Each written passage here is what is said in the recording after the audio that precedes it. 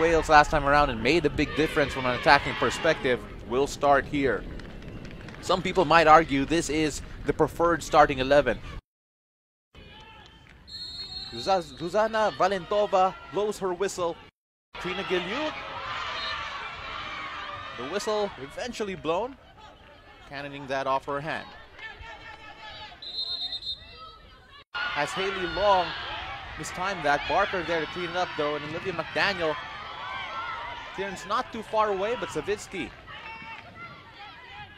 relieves the pressure. At one point, almost invited pressure on themselves. Let's take a look at this here. As Davidson was bearing down on goal. As Smith has successfully run into that. Low ball played in. But then the connection that they needed wasn't there for Thomas.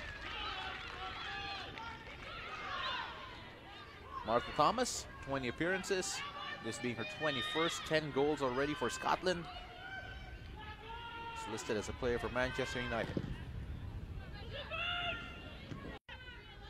Another look at that. Again, take a look at the size disadvantage Katrina Guillou has.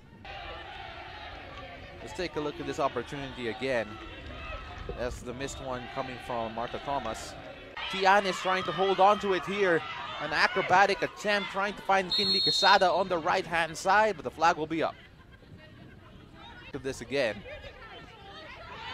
Just trying to put it into a dangerous situation. And Quinley Quezada probably was not expecting first game for the Filipinas of 2023. Eggesvik unable to win possession there. But Thomas will not get a chance. Playing it forward, trying to find the run, Sarina Bolden. But the ball falls harmlessly to Fife.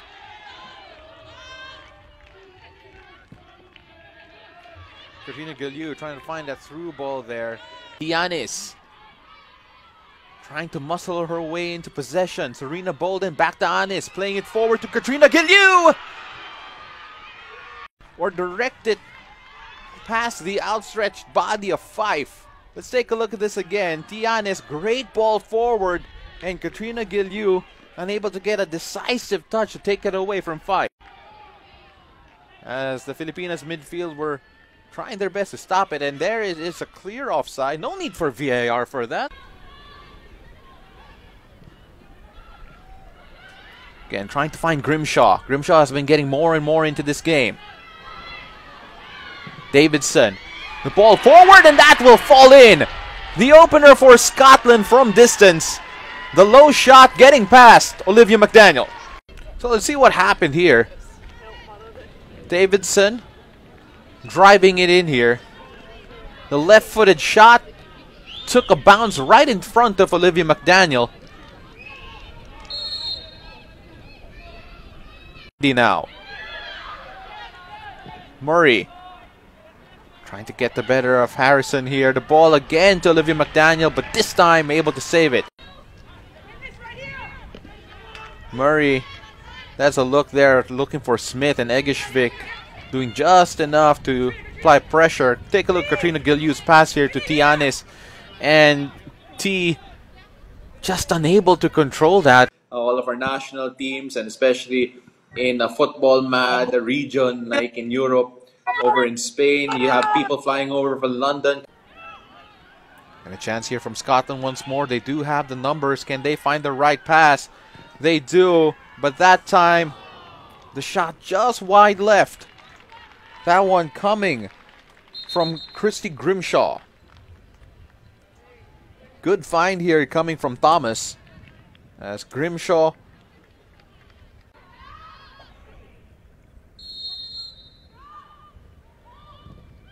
This one played low. And Hali Long got the touch to bring it away. Played long and a lot of blue shirts flooding forward. is here.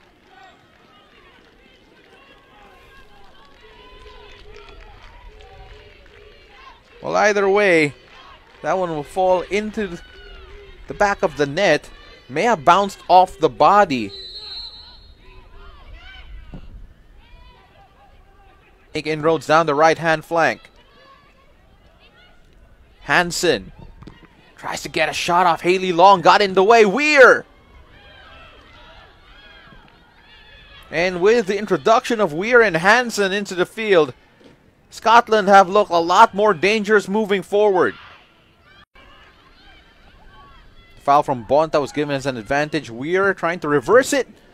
And almost uh, miscue there from the Philippines back line. Sure that it just goes out wide of goal.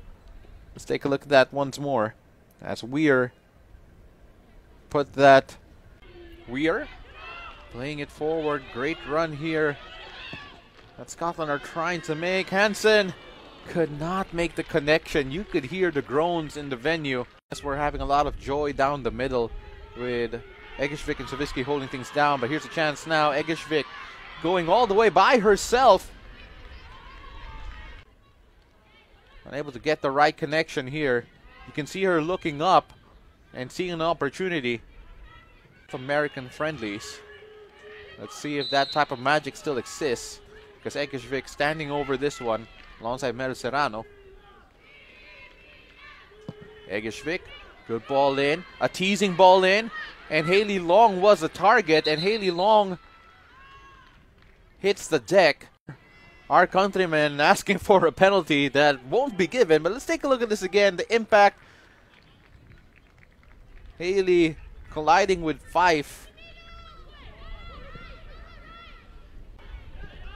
And Freeless could not connect with Flanigan, but Flanigan with an opportunity here and eventually run over. That will be a free kick in a dangerous area. The first real opportunity for the Filipinas. Four in the wall for Scotland. And as I say that, two more players come in. There's a foul there from Clark as Bella Flanigan. Serrano. Serrano scores for the Philippines. And can late drama happen here at the Pinatar Cup? Right before any added time, the Filipinas break their goal scoring duck here in the Pinatar Cup. Hit low, hit hard. Fife could not do anything about it. They're not just there to just get one goal, but Serrano drops them a lifeline.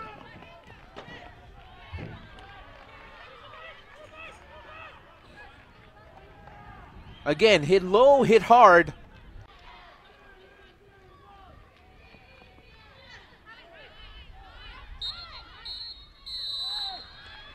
And that'll do it. As Scotland take down the Philippines two goals to one. A late consolation goal from El Serrano is what gave the Philippines a lot to cheer about. But then Scotland first through a first half goal coming from Davidson and the second half goal coming from Rachel Corsie means they see off the challenge of the Philippines and redeem themselves from a 2-0 loss against Iceland in their opening game at the Pinatar Cup. For the Filipinas, it's two losses already in the two games that they have played. 1-0 against Wales and now 2-1 against Scotland. But things to build for here for the Philippines. After getting their opening goal of the tournament, they're going to be looking for more. Thank you for joining us here